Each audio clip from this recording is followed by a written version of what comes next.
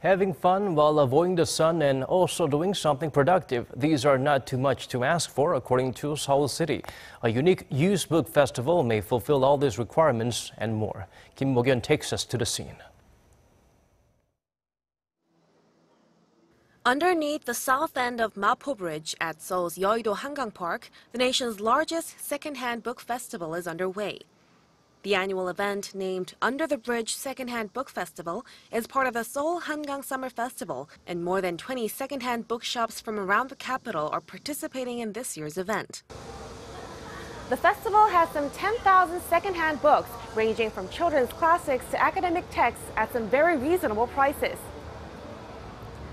If you buy this at a bookstore, it'll set you back 10 US dollars. But here, I just picked it up for $2. Aside from used books, there are plenty of other attractions for visitors to enjoy.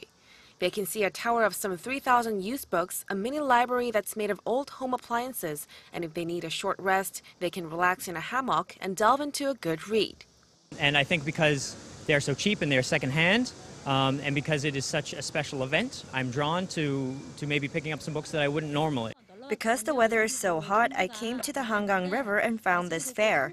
There are a lot of children's books, so we're having fun. On Saturday, participants can bring used books from home and sell them at a flea market. They can also attend a seminar which will be held under the theme Human Library New Days for Old Books. Organizers hope the event could help shift the public's perception of used books. Secondhand bookshops are not just a place to buy books for cheaper prices. I hope people will understand that this could be a meaningful place where you can find old treasures and interact with fellow book lovers as well. The event, which is the third of its kind this year, will run through August 15th. Kim Mok-yeon, Arirang News.